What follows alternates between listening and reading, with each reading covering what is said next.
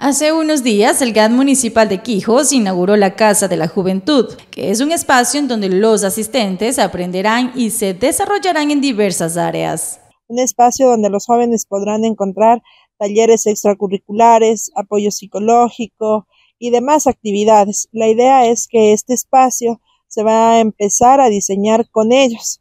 Es decir, vamos a partir desde la necesidad que tienen ellos para empezarlo a trabajar con la comunidad.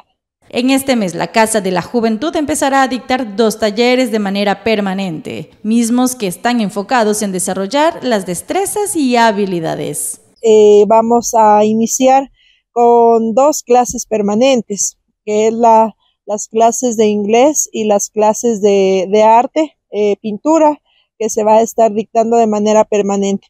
Más adelante se irán implementando más talleres, de acuerdo a las necesidades de los jóvenes de Quijos. Posteriormente, en el transcurso del mes, eh, del año, se va a estar aperturando más, más talleres como la danza, la música, de la misma manera capacitación para los jóvenes, otros talleres de, de, índole importante, pero siempre con eso, enfocados en la necesidad que requiere el joven.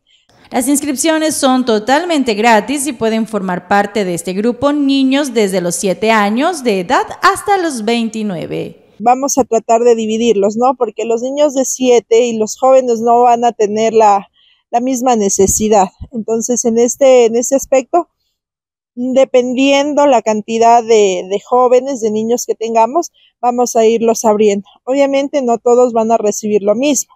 En este espacio, los niños y jóvenes van a aprovechar su tiempo libre en aprender y disfrutar de las actividades programadas. Con edición de Eduardo Estrada, informó Michelle Garzón, Noticias al Día.